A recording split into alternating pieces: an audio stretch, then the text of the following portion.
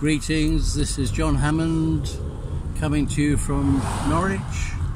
It's the 10th of August 2020. Just trying out this new system of recording as I'm on the move. Often I'm with my colleague Trevor, Trevor Fox, and uh, we've been travelling around Norfolk for 20 odd years. sort of a prayer walk, but in a car. Walking and talking on the journey heavenwards. Reaching out to whosoever. So this is a bit of a test. So if the quality is not good, I'm going to have to see if I can improve on that. But um, where are we as a church? The body of Christ is the church. And the more we state it, the more it seems almost like a cliche until you realize there are people who think they're Christian but they don't know what the term body of Christ means.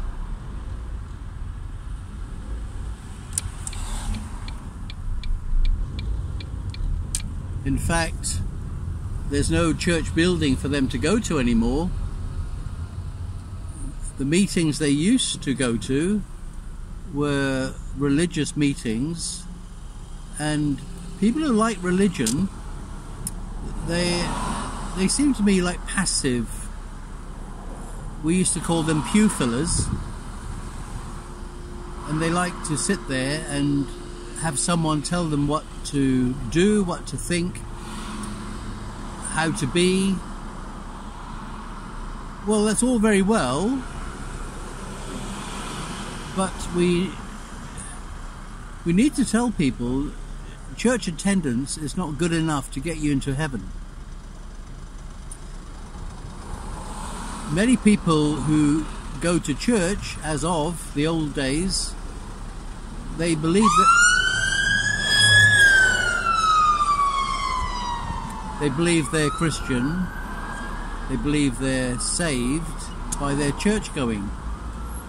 And then when you add to that giving money, they believe they're definitely saved because they not only go to a church meeting, but they give money. They might even say amen. When the preacher is preaching, they might be saying amen, glory, hallelujah. But when you actually ask them what is their story about Jesus Christ, how did Jesus come into your life, they are at a loss to explain who Jesus really is and what Jesus has done for them personally. And we are encouraged to test the spirits. Who are we dealing with? And of course, testing the spirits is you're testing the person to see what comes out of their mouth is what's in their heart. Of course, if they have a testimony about God, Jesus, what comes out of their mouth about Jesus is what is in their heart about Jesus.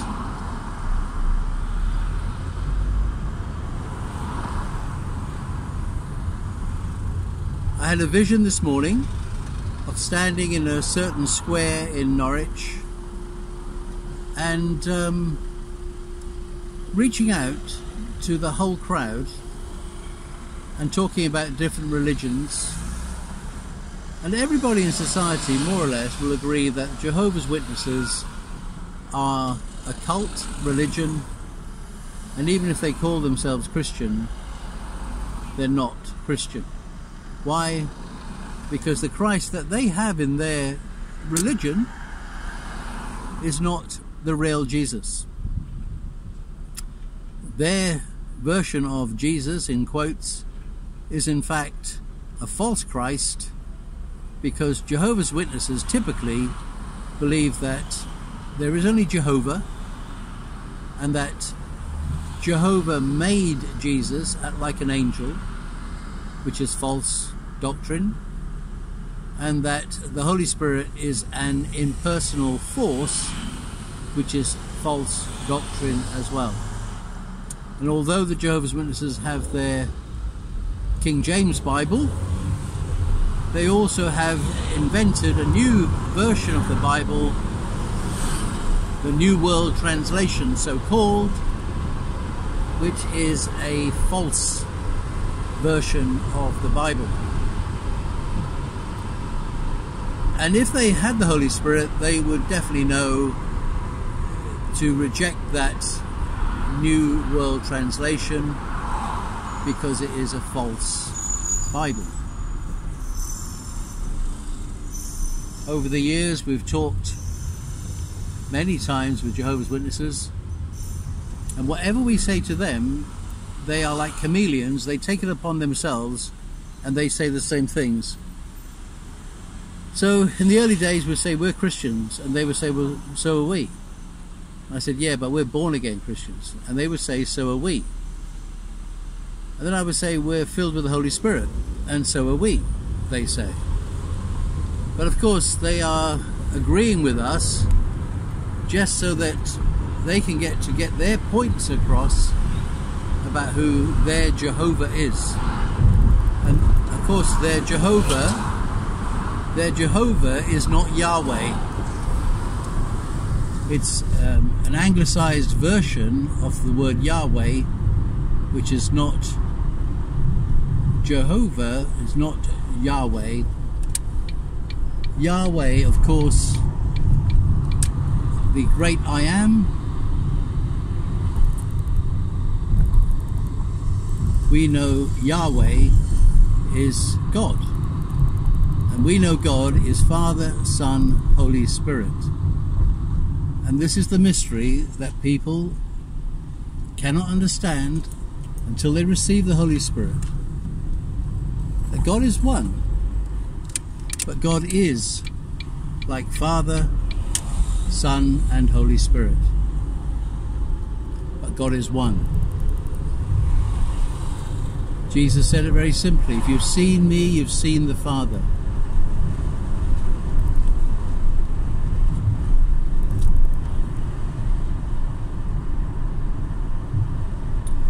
The field is white to harvest, the, the workers are few.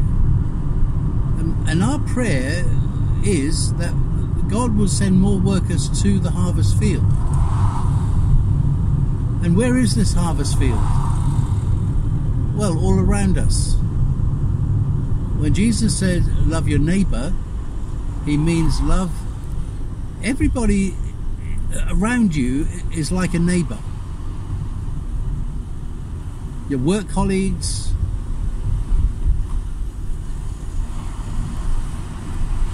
wherever you go. Of course, in a, um, a church meeting, meeting of the church, the person sit, sitting next to you physically is your neighbour. They might even be a brother, a sister, might even be a friend.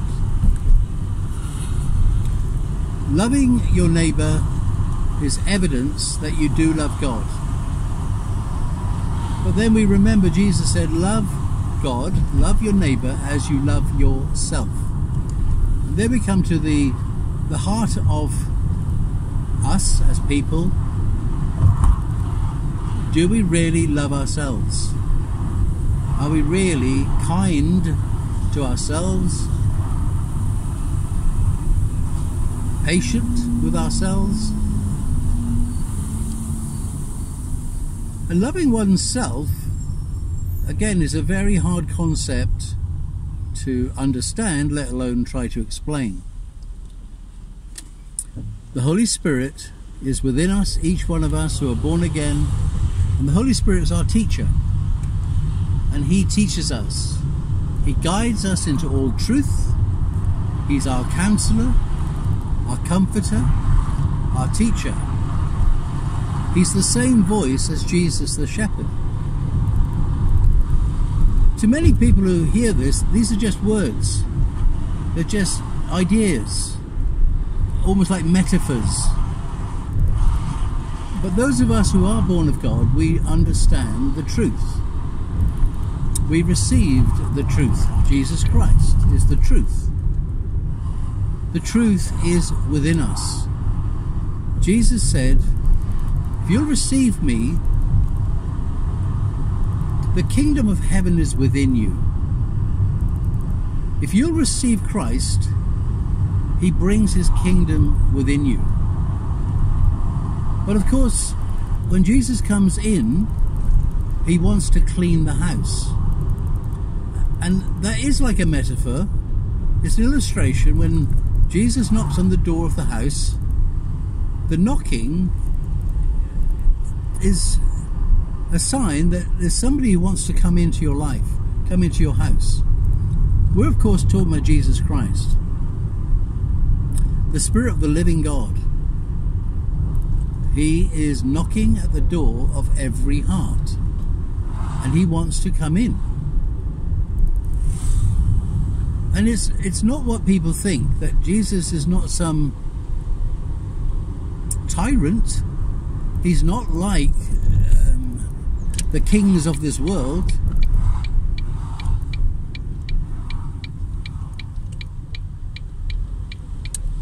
God is truthful to us. And when he says, I'll never leave you, never forsake you, that is the truth. But of course, if you haven't received Christ within you, if you haven't received the Spirit of the living God within you by your genuine and real and ongoing repentance, then arguably you're not born of God. The Bible is clear those born of God will not continue to sin.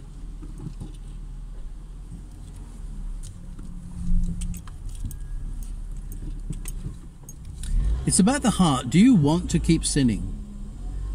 Well, the answer is yes or no. I'm talking about your spirit. I'm not talking about your mind. I'm not talking about your emotions. I'm talking about your spirit, your human spirit.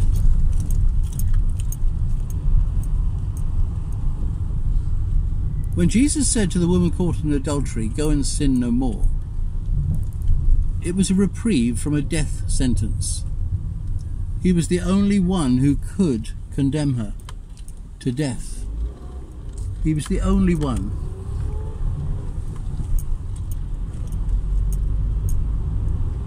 But he didn't condemn her to death. She went away saved from the physical death of stoning and we never hear of her again. Will, will she be in heaven? Did she obey? Did she obey Jesus? Did she stop sinning?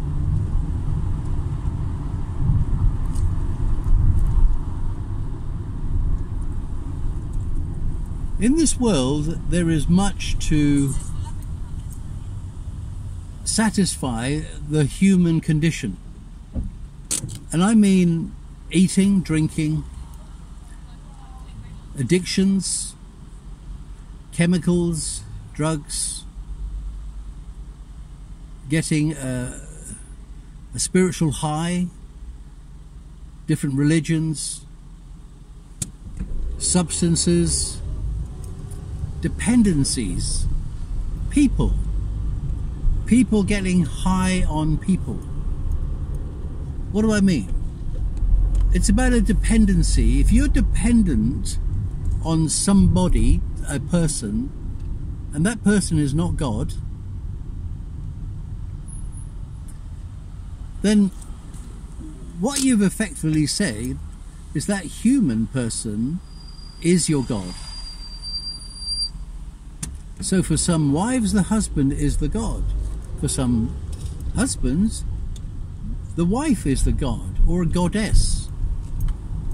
But then you start to understand that you're bringing in you're bringing in other spiritual powers into your life. So the pagans they had their own beliefs in gods. Mother Earth, stones, trees, spirits. But of course, we are now, as, as Christ Church, the remnant, the virgin bride looking for Christ's return, longing for his return. We are obeying God to keep ourselves free from all sin. Not to be tempted, not to give the devil a foothold, not to allow the enemy into our thoughts, our feelings, our life through what we know is the ear gate, the ears, the eye gate, the eyes, hands, feet. It is imperative that we as Christ followers we follow Christ. And Christ is not leading us to sin. Christ is leading us on the path of righteousness. And, it, and it's for Christ's sake that He's in us, working in us and through us to bring salvation to those who are in the world and walking in great darkness. It's Christ who's in us. It's Christ who reigns in us and through us. When Jesus said, If they receive you, they receive me, he was speaking the truth. And he was speaking in prophecy. Because he was speaking about a time that was coming when the religious authorities would not receive us as Christ's followers anymore. We're talking about the prophetic age of Christ's church, the true church, the body of Christ. The body of Christ. We're not talking about religion. We're talking about the body of Christ. I think we'll leave it there today, brethren. Brethren of the one God, His one church throughout this world. Jesus is coming. He's warned us about the state of the church. There'll be two working in a field, one will be taken, one will be left.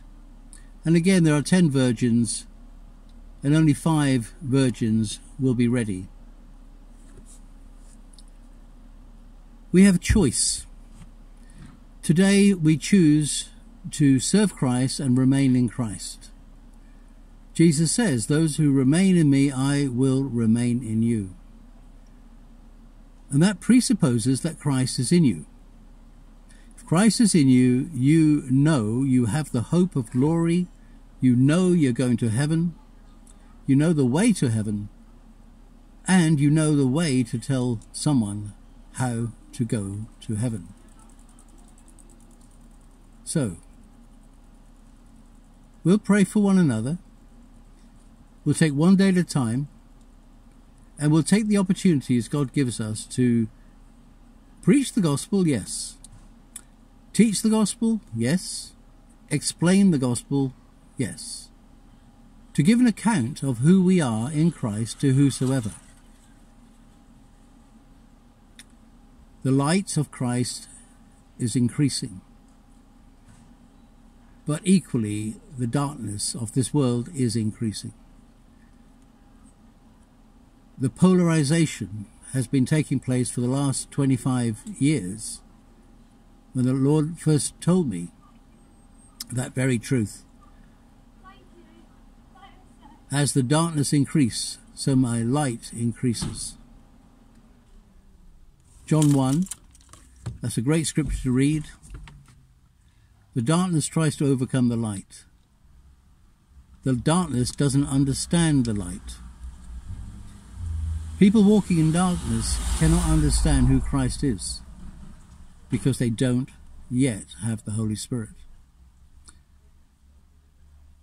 But it is for us in Christ, in the power of the Holy Spirit, to bring light to them, to bring the truth to them, to show them the way, the truth, and the life. To open the eyes of the blind. Metaphorically, spiritually, emotionally, mentally, physically. The power of God is at work in us and through us.